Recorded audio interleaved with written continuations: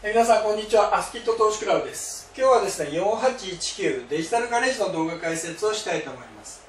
えこの銘柄1月のですね1314とですね出来高を伴って株価がね大きく反転しましたけれども、まあ、その後一旦調整のところはですね一応基準線近辺がサポートする形でそこからね反転をしてきてます。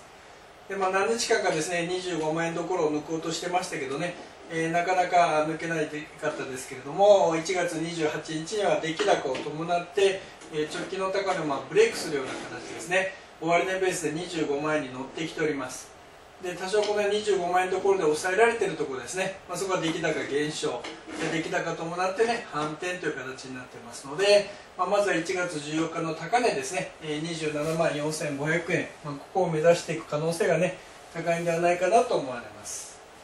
まあ、買いの、ね、ポイントとしてはこのまあ基準線から25万円あたりですね、えー、そのあたりでまあ株価が来るところがあれば、まあ、基本的に買い目線ですね、えー、強ければこの転換線がね意識されるようになるかと思います。あとはこのまあ短い時間のですね、まあ、こういったトレンドラインも引けますんでねこのトレンドライン、えー、このちょうど陰線のところからこのひげのところですねトレンドライン引かれてみてそういったトレンドラインがサポートするところもしくは5日移動平均線がサポートするところはですね当然買い目線ということになります。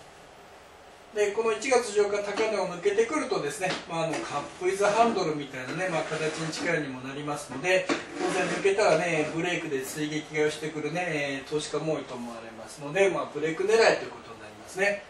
でこの1月14日の高値を抜いてくるとですね金額的な締めの30万円あと2006年の1月の高値ですね、まあ、34万円台というのがねありますので、まあ、30万から35万円近辺ですね、まあ、そこがあの目先でターゲットになるんではないかなと思われます、まあ、基準線が意識されてですねそこからまあ判定して上に上がってくれば問題ありませんけれどもえー、逆にねせっかくこの抜いてくるかと思ったら失速してしまったと。で基準線も割ってくるようだと当然警戒ですね。あとこの1月の安値と今年の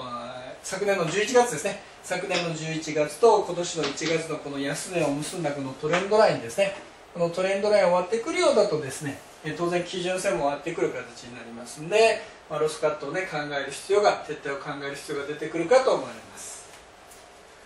で以上でデジタルガレージの動画解説を終わりたいと思います。ありがとうございました。